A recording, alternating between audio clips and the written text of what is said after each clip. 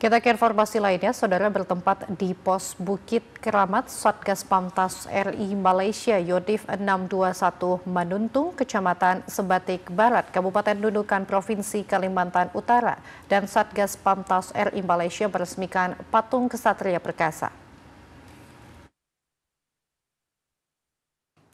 Dan Satgas Pamtas Darat RI Malaysia Yonif 621 Manuntung Letkol Infanteri Deni Andiani Amir mengatakan patung Satria Perkasa yang bermakna seorang prajurit yang gagah dan berwibawa dengan penuh rasa tanggung jawab menjaga perbatasan untuk menjaga kedaulatan negara Kesatuan Republik Indonesia.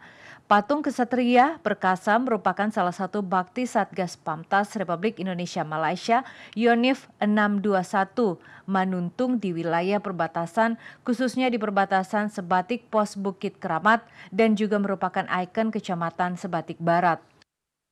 Uh, untuk patung Kesatria Perkasa ini mengandung makna bahwa prajurit yang gagah dan berwibawa bertanggung jawab untuk menjaga perbatasan dalam menjaga kedaulatan perbatasan negara kesatuan Republik Indonesia.